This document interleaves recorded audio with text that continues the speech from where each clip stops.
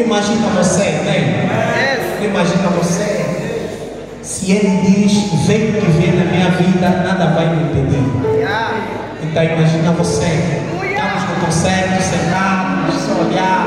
Não imagina o que ele sente quando está a cantar para Deus. Amém? Ele disse, vem o que vem, nada vai me impedir.